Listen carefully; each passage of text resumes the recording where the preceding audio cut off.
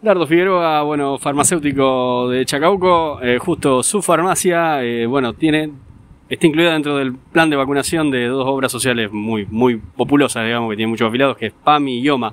Y bueno, esta inquietud que ha surgido este, esta, esta temporada, ¿no? De querer ponerse la vacuna y bueno, eh, la gente va a los lugares, no, no, no consigue. ¿Cómo es el tema de la distribución? Bueno, nosotros la vacuna, vamos a empezar por la vacunación de PAMI. Nosotros tenemos un cupo de vacunación que es a través de la farmacia, el PAMI a través de la farmacia. Sí, sí, sí. La distribución la hace el PAMI, o sea que nosotros dependemos de, de las decisiones que tome el PAMI, cuándo la distribuye o cuándo no. Claro. Vienen por, eh, por eh, digamos, por cuota o por envíos, ¿no es cierto? Sí, sí. Eh, aproximadamente de 100, 110 vacunas para cada farmacia.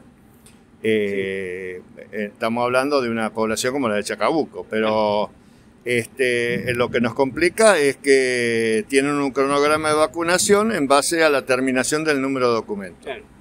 Entonces, le asignan dos días para cada número de documentos, empezando por el 0 a principio de mes y terminando por el 9 Claro. a fin de mes.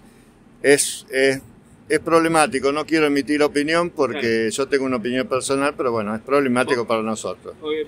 El, eh, el sí, No, no, no, el tema, yo veía el cronograma, claro, y la gente ahí, no sé si se presta confusión, si pierdo el día, tengo que esperar el otro mes. seguramente, seguramente. Claro. El tema, el tema es, es medio perverso, pero bueno, eh, está implementado así.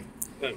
Y estamos hablando de 110 vacunas, no estamos hablando de 1000, 2000 vacunas. Claro, claro. Entonces, quién sabe si, le, si a alguno le va, le va a tocar este, poderse vacunar en la farmacia. Acá. Y por otro lado está el circuito oficial, que es, no tiene nada que ver con lo nuestro, que sería a través de- del, del hospital o, o, o de sanidad de, la- de cada municipio, que eso, bueno, no, no tiene nada que ver con lo nuestro. Claro, no, no estoy- entiendo. O sea, la idea es que los afiliados de PAMI vengan a la farmacia, o sea, acudan a la farmacia. Claro, eso sería la idea. Lo que pasa que, desgraciadamente, no hay vacunas No. para todos los jubilados. No. O sea, del cupo de 100 vacunas que el... Estas vacunas están ya, ya este, elaboradas Sí. eh, en función de los pedidos que se hicieron el año pasado, Claro. que el gobierno hizo el año pasado, Ah, cuando no existía la epidemia. Claro, claro, claro. claro. Y si querés que te explique lo de IOMA, lo de IOMA tenemos que pedirlo al, a la página del colegio. Eh, nos fijamos si hay en alguna droguería que entra en, en cada pueblo. Hola. Fijamos, eh, hacemos el pedido como máximo, podemos pedir 10 vacunas, Oh, que fue lo que yo pedí.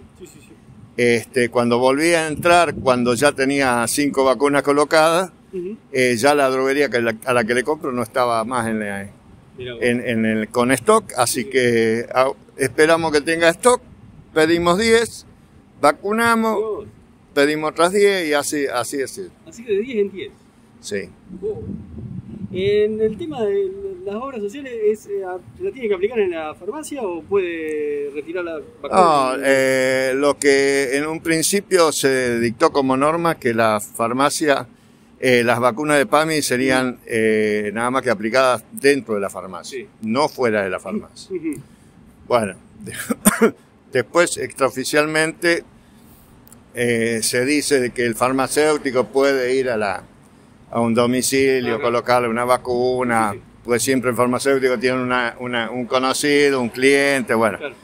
eh, que por ahí nos complica la, la cosa, porque por ejemplo yo tengo 77 años y no tendría que estar vacunando, Claro. yo no tendría que estar vacunando. Pero, Este, bueno, Pero entonces acá el tema, el tema es ese, ¿viste?